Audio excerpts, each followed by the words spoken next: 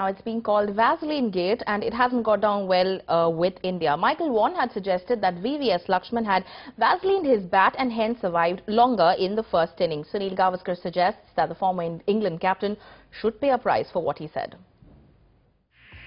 An appeal of VVS Laxman on 27 turned down by Asad Rauf. A decision referred to the television umpire for a review where even Hotspot did not pick up any edge.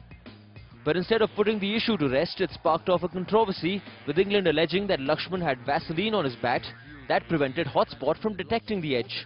I actually sarcastically had a cheeky feel of his edge when uh, when um, the ball went past. But no, there's there's no just the edge of his bat, but there's no Vaseline.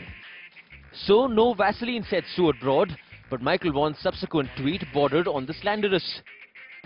He asked, has Vaseline on the outside edge saved the day for Laxman? Construed as an attack on Laxman's integrity, Vaughan's comment triggered angry responses from fans and experts. How the hell does Michael Vaughan know Vaseline is being used? Has he put it on his back? So he must have done it to know that there would be Vaseline. None of us know that if you put Vaseline, hotspot doesn't pick it. I mean, if I was VVS Laxman, I'd have my lawyer have a look at that because it's questioning my integrity as a cricketer.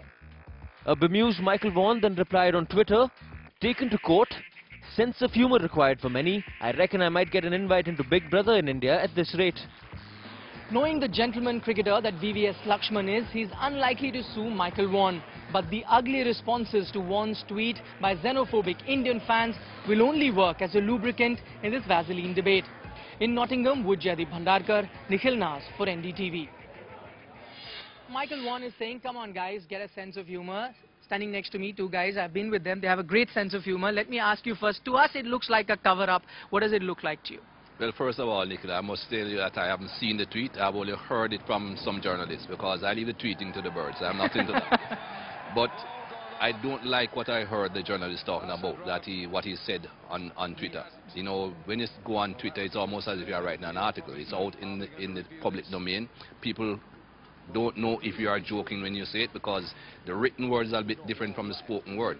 When you are speaking and people can see that you are smiling and you are being sarcastic or you are joking, it's different from when you are writing something. I think he was a little bit careless writing that.